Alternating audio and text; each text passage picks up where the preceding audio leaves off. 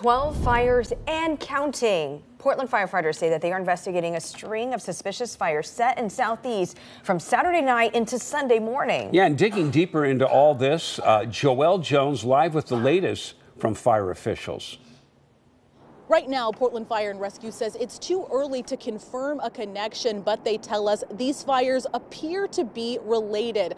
Luckily, we're told the damage has been minimal and no injuries have been reported. But with a dozen fires set and no suspect in sight, some neighbors tell us they're still concerned. Residential trash cans that someone has decided that is their fun.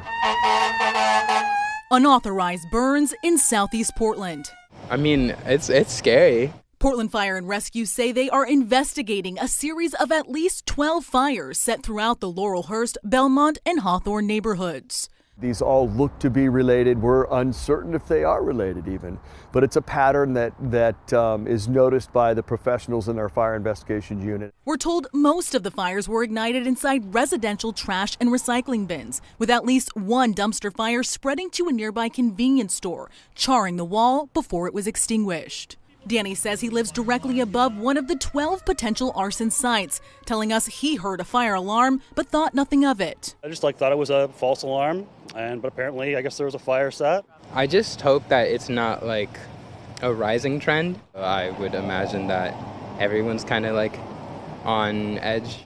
The suspicious blazes come two months after officials investigated a string of 14 fires set in South and Northeast Portland which were allegedly sparked by a suspected serial arsonist who was later found dead.